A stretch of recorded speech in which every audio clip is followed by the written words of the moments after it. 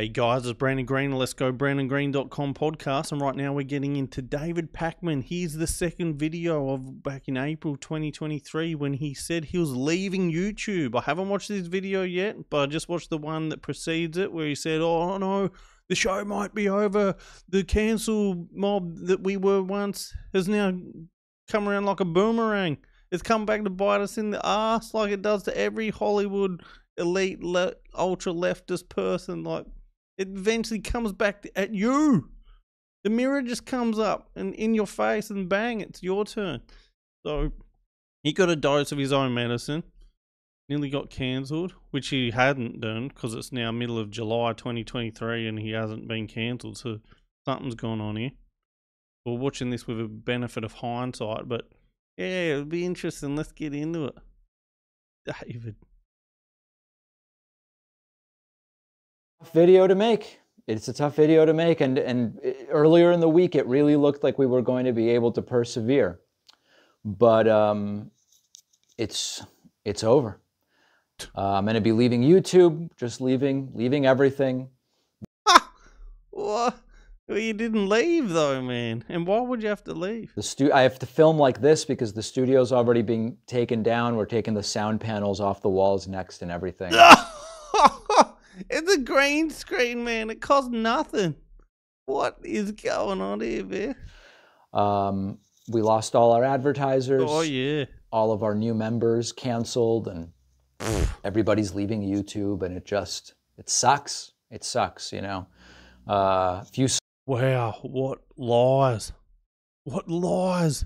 This is a dude with 1.8 million subscribers with trying to say that it costs all this money to run a YouTube. It costs nothing, guys. I've got followers. I've got barely any subscribers. I've got. I still get money paid from YouTube for just views. This guy gets heaps of views just from putting it on and saying hi and just that's it. So how much money does this guy need or want? Terrible.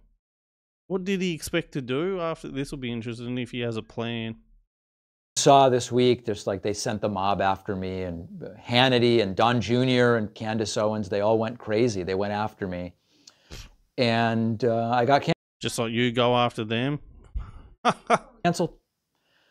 So you know, maybe I'll be able to get on like some I don't know, some other platform or something like that. But like this is kind of it, and it sucks. I have to even film if you get on another platform, platform, you're still gonna be Dave Pakman, the kid that looks like Macaulay Culkin as a kid. You know what I mean? Like, what did you?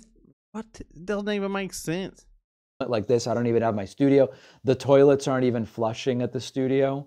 Although I guess that has something to do with Biden. I don't. I don't know. We're having to flush ten to fifteen times, but it, it I, just everything's going wrong is the point.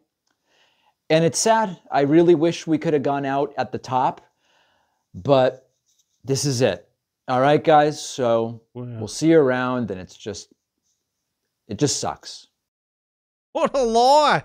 What a liar and a bullshitter! And his dudes still sit there believing it. The followers, the sheep, the jabbed a million times crowd, the booster roosters. What is going on here? You've just seen him I'd love to know the next video. Oh, actually, we we got some funds and we fixed everything, and man, it costs nothing to get a green screen. Oh man, I don't know how anyone can actually believe that crap, but David Pakman, man, that's why I think you're a troll, man. You're a troll to your dudes and just getting their money or something, killing them or something. Funny, man. I could just see him on his day off, just sitting back with a big MAGA hat on. Eh? Pakman, you sneaky bastard. He's one of us, man. He's the evil one. Telling them all to sh- get shots and everything.